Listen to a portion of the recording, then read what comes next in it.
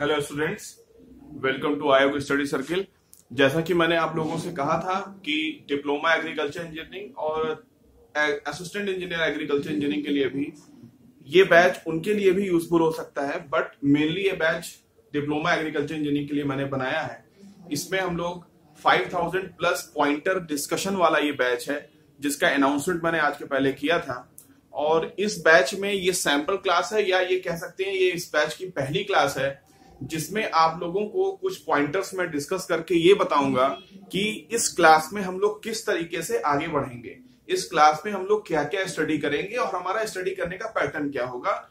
और इस बैच में मैंने आपको बताया था, इस बैच की फ़ीस बहुत ही नॉमिनल रखी गई है, चौबीस सौ निन्यानवे रुपए। और ये बैच बहुत ही एक्सेलरेटेड बहुत ही तेज़ी से खत्म होगा, बहुत तेज़ी से पढ़ाया जाएगा। और इसमें हर एक पॉइंट के पीछे जो उसका मेन कारण है, ये उस कारण को डिस्कस करते हुए हमारा ये बैच स्टार्ट होगा। ठीक है?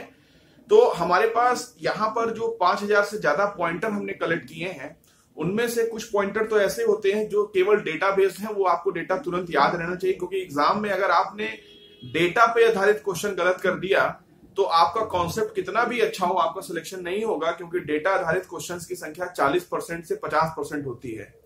और जो कॉन्सेप्चुअल क्वेश्चंस हैं, उनकी संख्या भी 50 परसेंट से ऊपर या 50 परसेंट के आसपास होती है। तो दोनों प्रकार की चीज़ें जिसको तैयार होती हैं, उसी का ही फाइनली इंजीनियरिंग के एग्ज़ाम्स में सिलेक्शन हो पाता है। और एक इंजीनियर ऐसे ही पर्सनालिटी है कि उसे कुछ चीज़ें याद है और कुछ चीज़ें उसके कॉन्सेप्ट में भी क्लियर है। इसलिए आयोग इस प्रकार का एग्ज़ाम भी लेता है। तो यहाँ पर हर एक वो पॉइंटर जिसमें एक्सप्लेनेशन की ज़रूरत है तो उनकी संख्या कम से कम साढ़े तीन हज़ार के ऊपर है।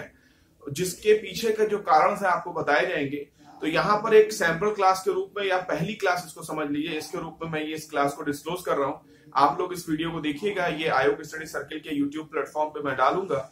और इसके बाद जितनी भी क्लासेस होंगी, वो क्लासेस आपकी क्लास प्लस लाइट एप्लीकेशन पे स्टूडेंट्स मेरे पास पेमेंट करके और मैं उनका नाम और नंबर उस पर ऐड कर दूँगा और वो उस क्लास को लगातार देख सकते हैं। जब तक उनके एग्जामिनेशन कंप्लीट नहीं हो जाते, या ये समझ लीजिए कि ये बैच स्पेशली बना है जूनियर इंजीनियर के लड़कों के लिए और असिस्टेंट इंजीनियर वाले चाहें तो इस बैच से बहुत कुछ सीख सकते हैं, क्योंकि इस बैच में भी लगभग वो सारे पॉइंट डिस्कस हो जाएँगे जो ए के भी सिलेबस में हैं ओके तो ये बहुत ही वास्ट और बहुत ही इंपॉर्टेंट बैच है। इस बैच का खासियत ये ये है कि इसमें आपको बहुत ज़्यादा भटकना नहीं पड़ेगा।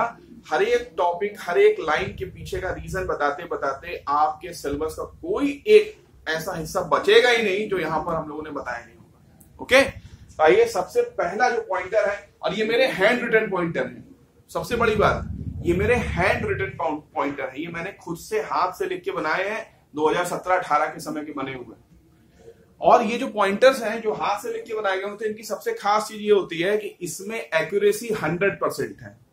एक्यूरेसी 100 परसेंट का मतलब कि इन पॉइंटर्स में कहीं कोई मिस्टेक नहीं है। मार्केट में ऑब्जेक्टिव की, हिंदी, अंग्रेज़ी की जितनी भी किताबें आती हैं आपको मैं बता दूँ, उनमें से 90 परसेंट किताबों में 40 परसेंट से ज़्यादा आंसर गलत दिए हैं। 100 सवाल के पेपर में यहाँ तक कि 25-25 क्वेश्चंस के आंसर गलत दिए गए हैं।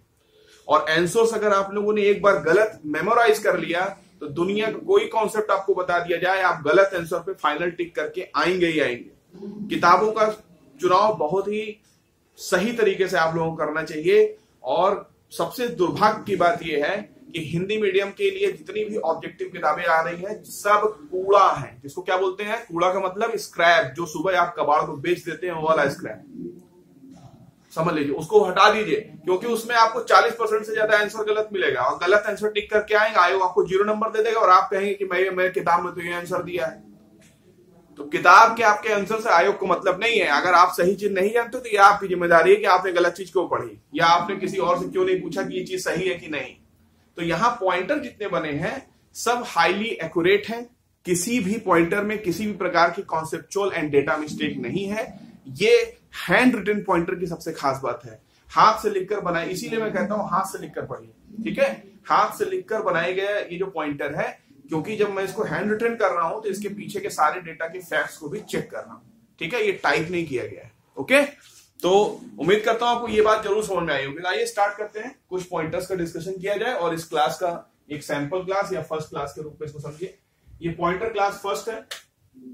यहाँ पर सबसे पहला पॉइंटर है फ़सल उगाने के लिए मिट्टी का जो पीएच लेवल होता है, उसका मान क्या होता है? पीएच का मान पीएच का मतलब होता है कि मिट्टी के अंदर हाइड्रोजन आयन की संख्या। इसी को बोलते हैं पीएच मान। किसी भी जगह पर पीएच मान जब निकाला जाता है तो हाइड्रोजन आयन की संख्या पर पीएच मान निकालते हैं, जिसको हम लोग पीएच बराबर बोलते हैं, minus of log H plus ion. इसको ये बोला ये फॉर्मूला होता है, ठीक है? पीएच का मान छह से साढ़े आठ होता है, ठीक है? ये हो गया आपका पॉइंटर का फैक्ट। अब आते हैं इससे रिलेटेड डिस्कशन पे। आप सभी को पता है कि पीएच का मान इस प्रकार से मैथमेटिकल फॉर्मूले से या गणितीय सूत्र से इस प्रकार से निकालते हैं। पीएच का मान अगर कहीं पर सात से कम है पीएच का मान अगर सात से कम है तो मीडियम क्या कहलाता है? एसिडिक या अम्लीय कहलाता है। और अगर पीएच का मान सात से अधिक है तो मीडियम क्या कहलाता है? क्षारीय कहलाता है। या बेसिक कहलाता है। और अगर पीएच का मान सात के बराबर है तो वो मीडियम न्यूट्रल कहलाता है। तो सॉयल मिट्टी जो होती है, फ़सल उगाने वाली उसकी खास चीज़ क्या है कि उसका पीएच का मान देखिए सात से कम छह और सात से अधिक साढ़े आठ। मतलब अम्ल और क्षार का एक मिश्रण होता है। अम्ल और क्षार का एक मिश्रण होता है, पीएच मान। और यहाँ पर एक पॉइंट आपको मैं और बता दूँ कि अगर पीएच का मान साढ़े दस के ऊपर हो जाए, पीएच का मान दस दशमलव पाँच के ऊपर अगर हो जाए या इसके बराबर भी हो जाए तो भूमि क्या कहलाती है?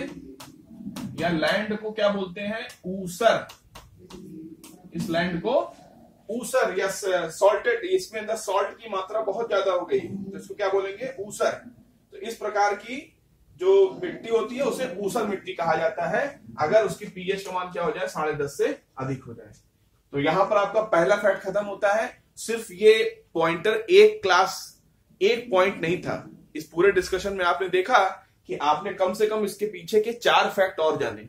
यही पॉइंटर क्लास है, ठीक है? और यही पॉइंटर क्लास की ताकत है कि जिन बच्चों के पास थोड़ा सा इकोनॉमिकली थोड़ी प्रॉब्लम है, वो इस क्लास को ज्वाइन करें और वो अपनी मेहनत को स्टार्ट रखें। मैं बता रहा हूँ, ये इस क्लास से बेहतर कोई और क्लास साबित हो ही नहीं सकती, ठीक है?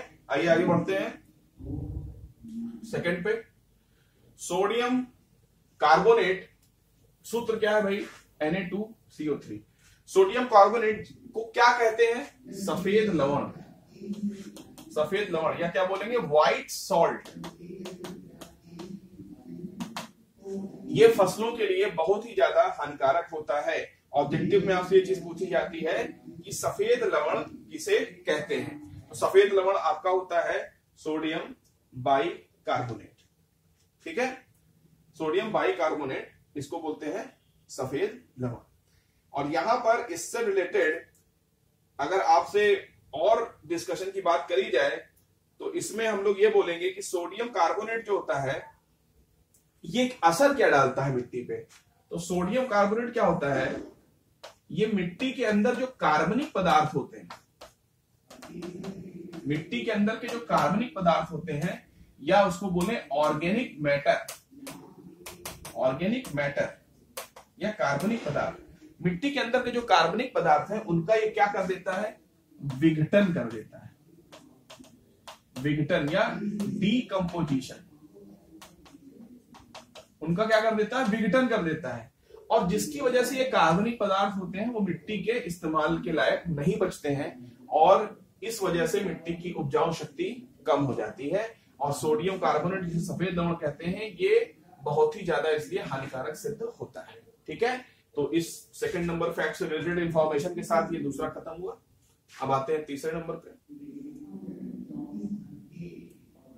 तो तीसरा पॉइंटर है, वो आपका यहाँ पर लिखा गया है। देखिए।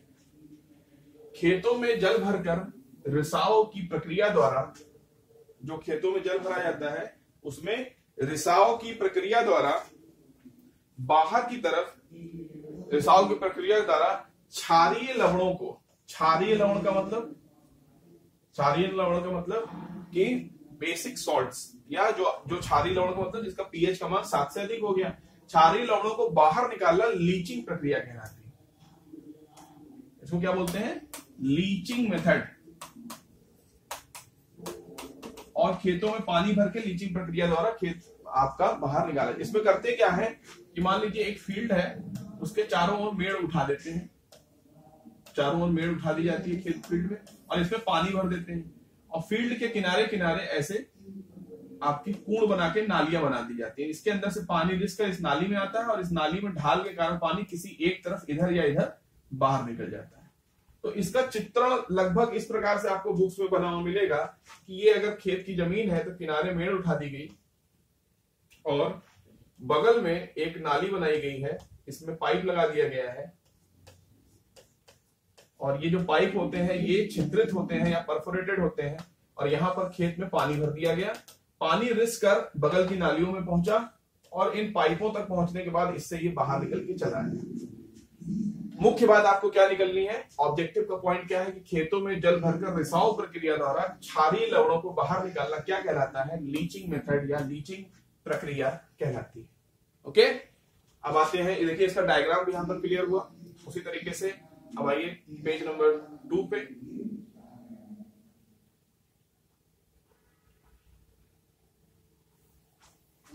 सिंचाई जल की गुणवत्ता निर्धारण के लिए हम लोग सिंचाई जल की गुणवत्ता निर्धारण के लिए सोडियम आयन अनुपात निकाला जाता है।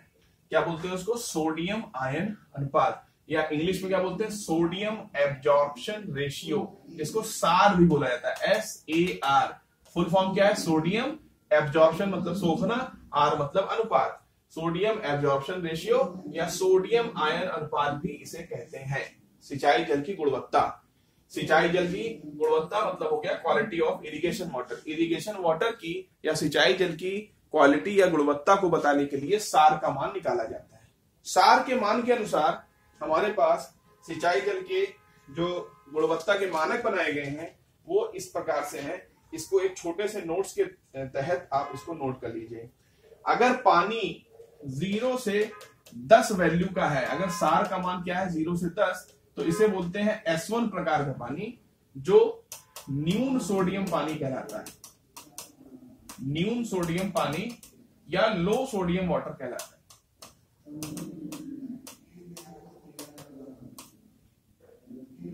और अगर एस ए आर या सोडियम एब्जॉर्प्शन रेशियो या सोडियम आयन अनुपात का मान 10 से 18 के बीच का है तो ये S2 प्रकार का पानी या मध्यम सोडियम पानी कहलाता है। ये सारे पॉइंट ऑब्जेक्टिव में आ चुके हैं इसको बोलेंगे मीडियम सोडियम वाटर ठीक उसी तरह तीसरा आता है अगर ये मान 18 से 26 के बीच में ये बहुत ही इंपॉर्टेंट मान है। इसको आप लोग इसी पॉइंटर डिस्कशन के दौरान अपनी कॉपी खोलिए और पॉइंटर क्लास वन के रूप में इस पॉइंटर्स को साथ में इसी के लिखते जाइए। इसीलिए इसका जो पीडीएफ आपको दूँगा तो बीच बीच में मैंने स्पेस भी छोड़ रखा है, ताकि आप इन चीज़ों को वहाँ पर लिख भी सकें। और जो लड़का अलग से इसको कॉपी में लिख रहा है अपने, उससे बेहतर तो कोई कुछ कर ही नहीं रहा है। ठीक है? क्योंकि जो आदमी हाथ से लिख के पढ़ता है, उसका सब तैयार होता है। जिसको हाथ से लिख के पढ़ना नहीं आता वो आदमी समझ लो कि कुछ दिन तक तैयारी करेगा, कुछ दिन बाद सब भूल जाएगा। तो एस थ्री इसको बोलेंगे एस थ्री प्रकार का पानी और ये कहलाएगा एस थ्री उच्च सोडियम पानी।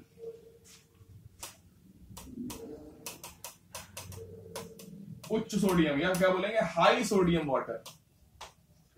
और एग्रीकल्चर में केवल हाई तक ही जाके मामला खत्म नहीं होता। अगर ये एस ए आर का मान किससे ज़्यादा हो जाए 26 से अधिक हो जाए। 26 से अधिक हो जाए तो ये क्या कहलाएगा? Very high very high sodium water या अत्यधिक उच्च अत्यधिक उच्च सोडियम पानी। तो यहाँ पर आपके पास ये पॉइंटर अब जाके खत्म हुआ। तो एक पॉइंटर से आपने देखा इसके अंदर कितनी इंफॉर्मेशन थी? इसमें S1, S2, S3 और S4 प्रकार के पानी के बारे में भी बात करी गई। सबके मान बताए गए न्यून मध्य उच्च और बहुत उच्च ठीक है? Low medium high and very high सार का फुल फॉर्म ये सारी चीज़ें बताई गई ये सब ऑब्जेक्टिव में आपसे पूछा जा चुका है। अब इससे रिलेटेड जितने इंफॉर्मेशन है सब एक बार में कवर हो गई। अब इससे ज़्यादा एग्जामिनर आपसे पूछने नहीं वाला है ठीक है? आइए आगे बढ़ते हैं। अगले पॉइंटर पे। अगला पॉइंटर है ओवन में सुखाई हुई मिट्टी का वायुमंडल एटमॉस्फियर ओवन में सुखाई मिट्टी मतलब ओवन ड्राई सॉयल का। वायुमंडल या एटमॉस्फियर से सोखा हुआ जल। हाइग्रोस्कोपिक जल। हाइग्रोस्कोपिक स्कोपिक जल या हाइग्रोस्कोपिक वाटर कहलाता है। ठीक है? इस जल या वाटर को गुरुत्व या ग्रेविटी के द्वारा बाहर नहीं निकाला जा सकता या ग्रेविटी का इस पर कोई भी प्रभाव नहीं पड़ता है। No effect of gravity gravity का इस पर कोई प्रभाव नहीं पड़ता है। ओवन ड्राई सॉइल का मतलब ये होता है कि आपने एक मिट्टी को ओवन नाम की एक चीज़ होती है जिसके अंदर हम किसी भी चीज़ की नमी गायब करते हैं। अगर आप 24 घंटे मिट्टी के सैंपल को ओवन के अंदर रख देंगे तो उसके अंदर से पूरी नमी गायब हो जाएगी।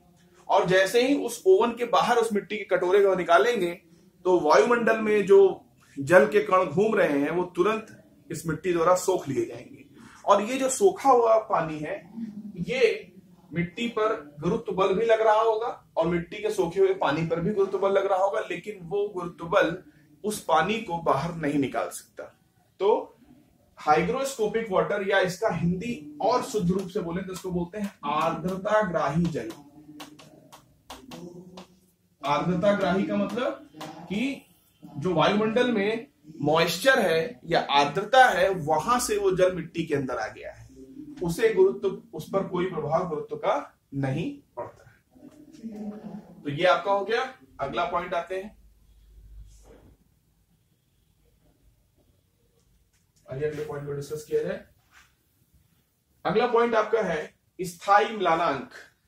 स्थायी मिलानांक मतलब परमानेंट बिल्टिंग पॉइंट पौधों की को बढ़ोतरी या ग्रोथ के मिट्टी में आवश्यक नेसेसरी आवश्यक या नेसेसरी नमी या मॉइस्चर ना प्राप्त हो तो उस नमी को स्थायी मिलानांक कहते हैं। ठीक है? फिर से इस पॉइंट को देखिए कि स्थायी मिलानांक क्या होता है? कि पौधों में जो नमी होती है, अगर वह नमी पौधों की बढ़ोतरी के लिए पौधों को प्राप्त ना हो तो उस समय जो मिट्टी की नमी है वो क्या कहलाएगी? परमानेंट बिल्टिंग पॉइंट कहलाएगी। ठीक है? परमानेंट बिल्टिंग पॉइंट कहलाएगी। तो परमानेंट बिल्टिंग पॉइंट जो आपका होता है, अगर यहाँ तक मिट्टी में नमी पहुँच गई तो पौधों की बढ़ोतरी के लिए कुछ भी पौधों से प्राप्त नहीं होता है। तो परमानेंट फिल्टिंग पॉइंट इसको कहते हैं। ये एक डेफिनेशन के तौर पे है। अब इससे रिलेटेड फैक्ट्स में आप ये कह सकते हैं कि permanent wilting point generally 18 percent अठारह परसेंट नमी पर प्राप्त होता है। जनरली या सामान्यता कई मिट्टियों में ये 18 परसेंट नमी पर प्राप्त होता है। मतलब अगर मिट्टी के भार का 18 परसेंट भार पानी है उसके अंदर तो वो पानी अब पौधों द्वारा खींचा नहीं जा सकता या पौधों को नहीं प्राप्त हो सकता। आइए अगले पॉइंट पे आते हैं।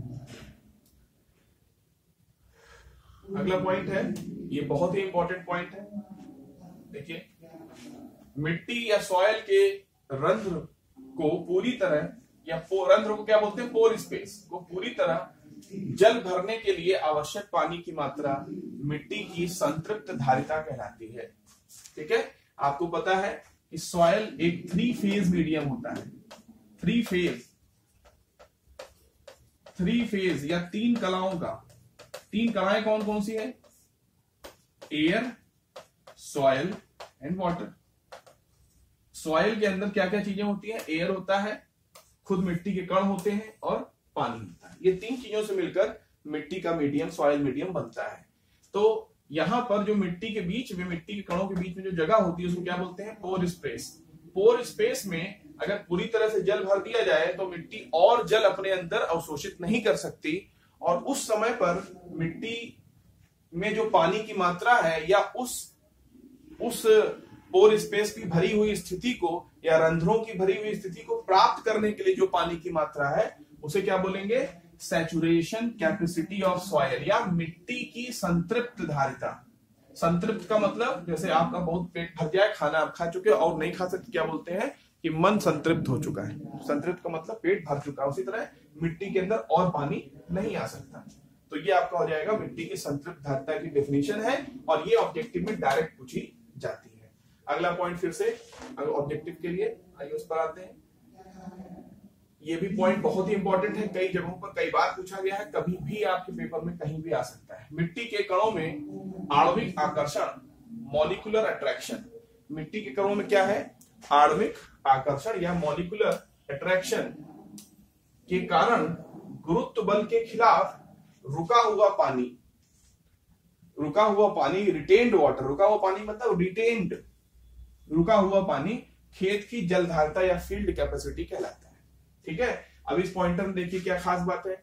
इसमें फ़ील्ड कैपेसिटी की डिफिनीशन है। जब भी आपसे पेपर में ऑब्जेक्टिव पूछा जाएगा, उसमें यह शब्द ज़रूर इस्तेमाल करेगा, आणविक आकर्षण या मॉलिकुलर अट्रैक्शन मिट्टी के कणों में जब कहीं पर मान लीजिए ये मिट्टी का मीडियम भरा हुआ है, मान लीजिए, इस जगह पर और यहाँ पर एक छेद जिससे पानी बाहर निकल सकता है तो ये मिट्टी इसके अंदर भरी है, यहाँ से आप बूंद बूंद पानी गिराना चालू करिए तो मिट्टी के सारे कणों में पानी भरता जाएगा, और एक समय ऐसा आएगा कि इस मिट्टी के सारे कणों में पानी भरा हुआ है, और यहाँ पर पानी नीचे गिर भी नहीं रहा है, और मिट्टी के सारे कण जो है वो उसके सारे कणों के बीच की जो जगह होती है, जो रंध्र होते हैं, वो पानी से भर भी चुके हैं।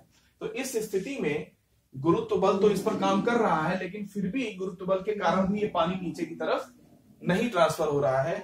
उस समय पर जो पानी है, वो मिट्टी की क्या कहलाती है? फ़ील्ड कैपेसिटी तो फ़ील्ड कैपेसिटी का जो जब भी ऑब्जेक्टिव पूछा गया है तो उसके कीवर्ड या उसके जो मेन शब्द हैं प्रश्न के, वो क्या होते हैं? आणविक आकर्षण वर्ड ज़रूर इस्तेमाल करता है। आणविक आकर्षण के कारण पानी मिट्टी में रुकता है और गुरुत्व बल भी उसे खींच नहीं पाता है मतलब गुरुत्व बल के खिलाफ रुकता है। तो उसे क्या बोलेंगे? फ़ील्ड कैपेसिटी अब आते हैं इसके आगे।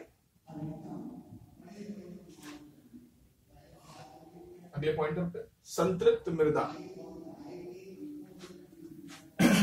संतृप्त मृदा पर गुरुत्व बल का।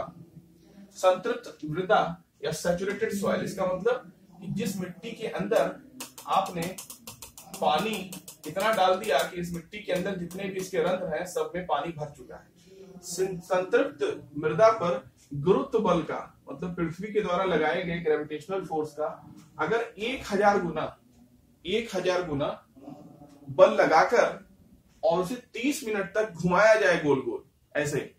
मिट्टी क्या करिए? कपड़े में भर लीजिए और एक हज़ार गुना गुरुत्व बल का लगाइए और 30 मिनट तक उसे घुमाते रहिए। सेंट्रीफ्यूगल फोर्स लिखा है ना? सेंट्रीफ्यूगल फोर्स का मतलब कि केंद्र में से अगर एक कण धागे में बांधकर एक वित्र में घुमाया जाए तो इस पर बाहर की तरफ़ लगने वाला फोर्स क्या कहलाएगा? सेंट्रीफ्यूगल फोर्स तो ये जो फोर्स लगेगा इस मिट्टी पर, इसके कारण क्या होगा कि इस मिट्टी के अंदर से पानी बाहर निकलता जाएगा। तीस मिनट तक अगर लगातार घुमा देंगे, तब उसके बाद भी मिट्टी के अंदर कुछ नमी बचेगी। उस नमी को बोलते हैं तुल्य नमी। या इक्विवेलेंट मॉइस्चर जब भी ऑब्जेक्टिव आया है इक्विवेलेंट मॉइस्चर का, उसमें ये दोनों चीज़ें कॉमन रही है। ठीक है? संतृप्त मृदा को गुरुत्व बल का एक हज़ार गुना बल लगाकर तीस मिनट तक घुमाने के बाद जब उसके अंदर से पानी बाहर निकल जाएगा तो क्योंकि आपको पता कोई गिली चीज़ घुमाइए तो पानी चारों चर चर चर चर चर चर चर बाहर निकलता है। तो जितना पानी बाहर निकल गया तीस मिनट घुमाने के बाद, अब उस मिट्टी के अंदर जो मॉइस्चर बची है, उसको क्या बोलेंगे? इक्विवेलेंट मॉइस्चर तो ये बहुत ही इंपॉर्टेंट पॉइंटर था। इसको आप लोग नोट डाउन करिएगा और याद रखिएगा। अब आते हैं इसके आगे। उपलब्ध नमी का वह भाग उपलब्ध नमी का वह भाग जो पौधे आसानी से या इजिली टेकन बाय प्लांट्स ले लेते हैं, उसे त्वरित उपलब्ध नमी या रेडली अवेलेबल मॉइस्चर कहते हैं। मतलब कि पौधों को जब आप पानी देते हैं तो जो पौधों के लिए अवेलेबल मॉइस्चर होता है, वो तो रहता ही है। अवेलेबल मॉइस्चर का कुछ हिस्सा ऐसा होता है, जो पौधे तुरंत बड़ी आसानी से ले लेते हैं, उसको रेडली अवेलेबल मॉइस्चर कहते हैं। इसका मतलब कि readily available moisture available moisture का एक हिस्सा होता है। ठीक है? तो ये आपका एक पॉइंट हो गया। इस पॉइंट को आप लोग एज इट इज़ नोट करिए रहिएगा, क्योंकि यहाँ पर जो दो शब्द हैं, वो क्या है? वह भाग जो पौधे आसानी से ले लेते हैं, या इजिली टेकन बाई प्लांट इसको क्या कहते हैं? त्वरित उपलब्ध नमी या रेडली अवेलेबल मॉइस्चर रेडियली का मतलब तुरंत तैयार है, ठीक है? रेडली अवेलेबल मॉइस्चर अब आइए इसके बाद जल की वह मात्रा, जल की वह मात्रा जो क्षेत्र धारिता फ़ील्ड कैपेसिटी तक लाने के लिए चाहिए, उसे क्या बोलते हैं? सॉयल मॉइस्चर डिफिशियंसी ये क्वेश्चन भी कई बार पूछा गया है कि मिट्टी में पानी की कमी होती है और आप जब सिंचाई करते हैं मिट्टी की तो आप केवल उतनी ही सिंचाई करते हैं जितने से मिट्टी के अंदर सिंचाई की कमी क्या हो जाए या नमी की जो कमी है वो क्या हो जाए? पूरी हो जाए। तो जो नमी की कमी होती है, उसको क्या बोला जाता है? सॉयल मॉइस्चर डिफिशियंसी या उसको क्या बोलते हैं? मृदा जल कमी।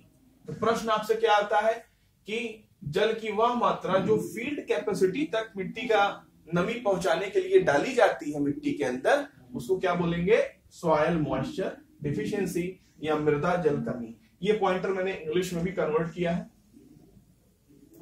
Amount of water required to achieve field capacity is called soil moisture deficiency इसको सॉइल मॉइस्चर डिफिशियंसी कहते हैं। और फ़ील्ड कैपेसिटी तक ही मिट्टी की जल मात्रा को पहुँचाने के लिए हम क्या करते हैं? सिंचाई करते हैं। क्योंकि अगर फ़ील्ड कैपेसिटी के ऊपर आप सिंचाई करेंगे तो वो सारा का सारा जल गुरुत्व जल में कन्वर्ट हो जाएगा और पृथ्वी द्वारा नीचे खींच लिया जाएगा। तो बाहर से डाले गए पानी का कोई फ़ायदा आपको नहीं मिलेगा। सिर्फ़ उतना ही पानी डालिए जितने से खेत जो है अपनी फ़ील्ड कैपेसिटी तक पहुँच जाए। तो ये आपका पॉइंटर खत्म हुआ। एक पॉइंटर से रिलेटेड तीन चार इंफॉर्मेशन और निकल के आए। अब आते हैं इसके आगे। इस चित्र, जो चित्र है, एक साथ कई सिद्धांत समझे। इस चित्र से एक साथ कॉन्सेप्चुअलाइज थ्रू दिस फिगर इस चित्र से आपको कई सारे सिद्धांत एक साथ समझ में आएँगे। देखिए कौन कौन से सिद्धांत है। देखिए, इस डायग्राम में हमने यहाँ पर ऊपर का जो डायग्राम है, ऊपर आपको ऐसे ऐसे लाइनें दिखाई गई हैं। यहाँ पर बेड़ी बेड़ी लाइनें दिखाई गई हैं। और यहाँ पर आपकी डॉटेड दिखाया गया है। तो आप ध्यान दीजिए इतने हिस्से पर। तो यहाँ पर जितने प्रकार के जल होते हैं मिट्टी में, सबकी बात करी गई है। यहाँ पर अगर आप जल की बात करें तो सबसे पहले गुरुत्व जल दिखाया गया है या इसको गुरुत्व जल को दूसरे रूप में सुपर फ्लूस वाटर या अतिरिक्त जल भी कहते हैं। तो मिट्टी में जल की वह मात्रा जो फ़ील्ड कैपेसिटी के ऊपर है, ठीक है फ़ील्ड कैपेसिटी के ऊपर है, वो क्या कहलाती है? गुरुत्व जल। तो इस रेड लाइन पर जो हमने खींची, यहाँ आप क्या ले सकते हैं? फ़ील्ड कैपेसिटी या क्षेत्र धारिता क्षेत्र धारिता क्षेत्र से जैसे ही जल की मात्रा बढ़ेगी तो ग्रेविटेशनल वाटर में कन्वर्ट हो जाएगी या पृथ्वी द्वारा नीचे खींच ली जाएगी। और इस जल को अतिरिक्त जल भी कहा जाता है। फ़ील्ड कैपेसिटी के जस्ट बाद यहाँ तक का जो हिस्सा है, ये कहलाता है, यहाँ से यहाँ तक क्या कहलाता है? कैपिलरी वाटर कैपिलरी वाटर और कैपिलरी वाटर को अगर आप इस तरफ़ देखें तो देखिए कैपिलरी वाटर को कैसे बांटा गया है। कैपिलरी वाटर की यहाँ से एक लाइन लाई गई है, जिसमें कैपिलरी वाटर का ही कुछ हिस्सा क्या दिखाया गया? अवेलेबल वाटर कैपिलरी वाटर का कुछ हिस्सा अवेलेबल वाटर है और कैपिलरी ही वाटर का कुछ हिस्सा अनअवेलेबल वाटर भी हो जाता है, क्योंकि इस लाइन को अगर आगे बढ़ाएँगे तो आप देखिए यहाँ पर अनउपलब्ध जल कहाँ से चालू हो रहा है? यहाँ से लेकर यहाँ तक है। तो इस तरफ़ ध्यान दीजिए तो इसमें यह दिखा रहा है अतिरिक्त जल के बाद उपलब्ध जल प्राप्त होता है और पौधों के लिए उपलब्ध जल के बाद अनउपलब्ध जल प्राप्त होता है। लेकिन अनउपलब्ध जल जो होता है, वो भी कैपिलरी वाटर के इस वाली लाइन से स्टार्ट हो रहा है। इसका मतलब ये हुआ कि जो केशिका जल है या कैपिलरी वाटर है, जो मिट्टी के रंध्रों के अंदर भरा हुआ है, उसका सारा जल पौधे नहीं खींच पाते। उसका जो जल पौधे खींच पाते हैं, उसी को अवेलेबल वाटर कहते हैं। इसका मतलब ये हुआ कि अवेलेबल वाटर जो होता है, वो कैपिलरी वाटर का ही दूसरा रूप है। तो अवेलेबल वाटर जो है अवेलेबल वाटर या उपलब्ध जल, पौधों के लिए जो उपलब्ध जल है, यह केशिका जल का ही दूसरा रूप है। या केशिका जल को ही उपलब्ध जल कहते हैं। लेकिन केशिका जल का सारा हिस्सा पौधों के लिए उपलब्ध नहीं है, क्योंकि केशिका जल की जो ये लाइन दिखाई गई, केशिका जल तो यहाँ से यहाँ तक मैंने दिखाया, लेकिन जो ये लाइन आ रही है, ये यहाँ से क्या दिखा रही है? केशिका जल का कुछ हिस्सा ऐसा है जो पौधों के लिए उपलब्ध नहीं है, क्योंकि अनअवेलेबल या अनुपलब्ध जल कहाँ से कहाँ तक है? यहाँ से यहाँ तक है। तो केशिका जल का वह पॉइंट जब आ जाता है, जब पौधों के लिए अनुपलब्ध हो जाता है तो उस पॉइंट को क्या कहते हैं? बिल्टिंग पॉइंट या मिलानांक बिंदु। तो क्या मिलानांक बिंदु पर केशिका जल पौधों में या मिट्टी में होता है? मिलानांक बिंदु पर यह होता है। मिलानांक बिंदु के तक पर भी कैपिलरी में या केशिका में मिट्टी के अंदर जो कणों के बीच जो केशिका बनी है, उसमें पानी होता है, लेकिन वो पौधों को मिल नहीं पाता है। ठीक है? और उसके बाद जब कैपिलरी वाटर खत्म हो गया, मिट्टी के अंदर तो यहाँ पर दिखाया गया हाइग्रोस्कोपिक वाटर। हाइग्रोस्कोपिक मतलब आर्द्रताग्राही जल। और आर्द्रताग्राही जल पूरी तरह से क्या है? अनअवेलेबल है। देखिए, अनअवेलेबल यहाँ से यहाँ तक दिखाया गया, जिसमें से हाइग्रोस्कोपिक का ये हिस्सा है। इसका मतलब हाइग्रोस्कोपिक हमेशा से क्या हो गया? अनुपलब्ध है। हाइग्रोस्कोपिक वाटर मतलब जो मिट्टी इन्वायरमेंट या वायुमंडल से अपने में सोख लेती है, वो तो पौधे निकाल ही नहीं सकते। उसे हम आप नहीं निकाल सकते तो पौधा निकालेगा। ठीक है? तो बात ही खत्म हो गई। जब तक मिट्टी को आप ओवन के अंदर गर्म नहीं करेंगे, तब तक वो बाहर नहीं निकलेगा। तो हाइग्रोस्कोपिक पूरी तरीके से कैसा है? अनुपलब्ध है। तो ये जो डायग्राम है, इसका इंटर रिलेशन बहुत अच्छे से आपको समझना है। अब इसको उल्टा भी समझ सकते हैं कि मिट्टी जब ओवन ड्राई थी, ओवन ड्राई या ओवन के अंदर सुखाई हुई थी तो सबसे पहले उसके अंदर कौन सा पानी आया? हाइग्रोस्कोपिक वाटर उसने। हमने जब पानी, जैसे उसको वायुमंडल में खोला तो हाइड्रोस्कोपिक जल उसके अंदर आ गया। फिर उसके बाद पानी और डाला गया तो उसकी सारी कैपिलरी भर गई। तो जब सारी कैपिलरी भर गई तो फ़ील्ड कैपेसिटी आ गई। और पानी डाला गया तो कैपिलरी भी भर गई, लेकिन अब एक्स्ट्रा पानी क्या होगा? मिट्टी के से रिश्ता हुआ, ग्राउंड में चला जाएगा, जिसको क्या बोलेंगे? गुरुत्व जल ठीक है? तो ये हो गया। अब आते हैं इस पर अगले पॉइंटर पे ये जो डायग्राम था, बहुत ही इंफॉर्मेटिव डायग्राम था।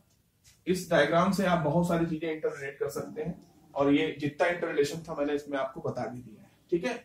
यहाँ पर हर जल का कौन सा प्रकार ये भी दिया गया है। गुरुत्व जल एक अतिरिक्त जल है। कैपिलरी वाटर में अवेलेबल वाटर भी होता है और कैपिलरी वाटर अनअवेलेबल भी हो जाता है, कुछ दूरी बाद तो कैपिलरी बिल्टिंग पॉइंट आता है, उस वक्त क्या कैपिलरी में पानी होता है? जब जब मिट्टी का मलानांक बिंदु आता है तो क्या केशिका जल मौजूद होता है? तो हाँ होता है। लेकिन वो पौधों को नहीं मिलता है। जब केश का जल भी खत्म हो गया तो क्या बना? आर्ताग्राही जल। और आर्ताग्राही जल कैसा है? तो पूरी तरह से अनुपलब्ध है। अब आते हैं इस पे।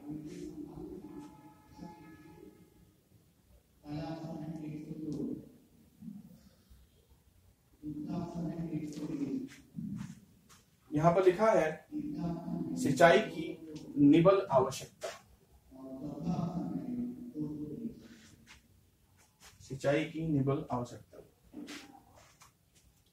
तो ये पॉइंटर थोड़ा सा नीचे पड़ रहा है। तो देखिए, इसके बारे में मैं आपको बताता हूँ।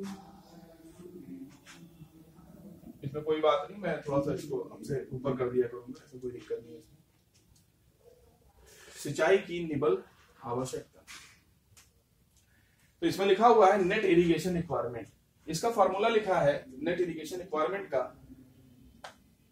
एन आई आर बराबर C I R minus R E plus leaching हानि ठीक है? और यहाँ पर आर ई का मतलब होता है प्रभावी वर्षा।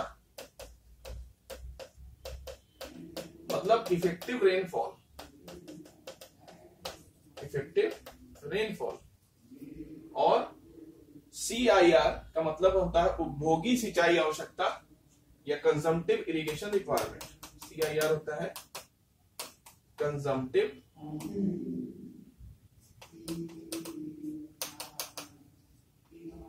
इरिगेशन रिक्वायरमेंट या उपभोगी सिंचाई आवश्यकता। अब इसका मतलब आप समझ लीजिए कि जो फॉर्मूला है, इससे ऑब्जेक्टिव कई बार आते हैं। तो एनआईआर का मतलब नेट इरिगेशन रिक्वायरमेंट मतलब सिंचाई की निबल आवश्यकता मतलब कितनी सिंचाई की आवश्यकता है या कितनी सिंचाई आपको करनी है, ये बात आप कैसे डिसाइड कर सकते हैं? जब आपको ये पता हो कि पौधों को कितनी उपभोगी सिंचाई चाहिए मतलब पौधों को कितनी टोटल सिंचाई चाहिए तो जब आप फ़ील्ड में पानी देते हैं तो दो प्रकार से पानी का इस्तेमाल होता है। एक होता है इवेपोरेशन या इसको बोलते हैं वाष्पन। और एक होता है ट्रांसपिरेशन ट्रांसपिरेशन का मतलब कि पौधों की बढ़ोतरी। दो प्रकार से जल जो है आपके इस्तेमाल होता है। एक जल इस्तेमाल होता है पानी का, एक हिस्सा इस्तेमाल होता है वाष्पन में और एक हिस्सा इस्तेमाल होता है पौधों की बढ़ोतरी में। आपको सिंचाई में उतना पानी देना होता है जितनों से आपका इवेपोरेशन और ट्रांसपिरेशन या वाष्पन और पौधों की जलोत्तरी के लिए जो पानी चाहिए, दोनों को मिलाकर जो पानी है, वो पानी आपको टोटल प्रदान करना है। तो यहाँ पर जो पानी आपकी दोनों चीज़ों में इस्तेमाल हो रहा है इवेपोरेशन या वाष्पन या ट्रांसपिरेशन या पौधों की बढ़ोतरी में, उसको क्या बोलते हैं? उपभोगी सिंचाई आवश्यकता या कंजम्पटिव इरिगेशन रिक्वायरमेंट या सी आई आर क्या बोलते हैं उसे? सी आई आर तो जितना पानी पौधों को चाहिए, उसमें से अगर यहाँ माइनस आर किया गया मतलब प्रभावी वर्षा। तो जिस समय आपने फ़सल बोई और काटी तो फ़सल बोने के पहले आपने एक बार सिंचाई करी और फ़सल काटने के पहले एक बार सिंचाई करी। तो ये जो दूरी होती है इसी को, या जो ये जो समय होता है, इसी क्या बोलते हैं? बेस पीरियड या फ़सल काल। इसको क्या बोलते हैं? फ़सल काल। तो फ़सल काल के दौरान जितना पानी आपको प्रभावी वर्षा या वर्षा से प्राप्त हो गया तो पौधों को जितना पानी चाहिए था वर्षा से जो पानी प्राप्त हुआ, उसको आप घटा दीजिए। प्लस जो पौधों को जब पानी दिया गया तो खेत से रिस्क कर जो पानी बाहर चला गया। तो रिस्क का जो पानी चला गया तो उसको क्या बोलते हैं? लीचिंग वाला पानी। तो लीचिंग की वजह से जो हानि हो रही है, उसको कैलकुलेट कर लीजिए। और उसको लाकर आप यहाँ पर जोड़ दीजिए। तो यहाँ पर हम लोग क्या कह रहे हैं? पौधों की जो कुल पानी की आवश्यकता थी, जो वाष्पन और बढ़ोतरी दोनों के लिए चाहिए थी, वो आपकी सीआईआर हो गई। उसमें से पौधों को बोने के दौरान जो हमारा पानी बरसा, वो हमने घटा दिया क्योंकि जब पानी हमको बरसात से प्राप्त हो गया, वो तो हम सिंचाई में देंगे नहीं तो वो हमने घटा दिया। प्लस हमने ये पता किया कि इस खेत से कितना पानी लीचिंग के द्वारा या रिस्क कर बाहर चला जाता है। उसको हमने इसमें जोड़ दिया। अब जितना पानी हमें प्राप्त हुआ, वही कहलाएगा नेट इरिगेशन रिक्वायरमेंट या सिंचाई की निबल आवश्यकता। इतना पानी हमें खेत को देना है। तो सिंचाई की आवश्यकता निकालने के लिए ये हमारा एक तरीका होता है। ये फॉर्मूला कई बार पेपरों में पूछा गया है और इस फॉर्मूले से रिलेटेड जो भी फैक्ट्स है हम लोगों ने इस क्लास में डिस्कस किए। तो दिस इज़ ऑल अबाउट ये हम लोग की वन लाइनर क्लास है, ठीक है? हमको समझ में आ रहा होगा कि कई बच्चे इस वन लाइनर क्लास को देखने के बाद बड़ी से बड़ी संख्या में आएँगे ज्वाइन करने के लिए, क्योंकि ये क्लास से ज़्यादा इंफॉर्मेटिव क्लास कोई भी नहीं है, ठीक है? और इसको आप आइए, तुरंत ज्वाइन करिए और तुरंत मेरे पास मैसेज करिए और मैं आपका नाम तुरंत स्टडी सर्किल के Aayog class plus live platform पे ऐड करूँ और इस क्लास का आनंद उठाइए। बड़ी से बड़ी संख्या में आइए और इसी उम्मीद के साथ और इसी मैसेज के साथ इस वीडियो को मैं खत्म कर रहा हूँ। बाय बाय एंड शबा खैर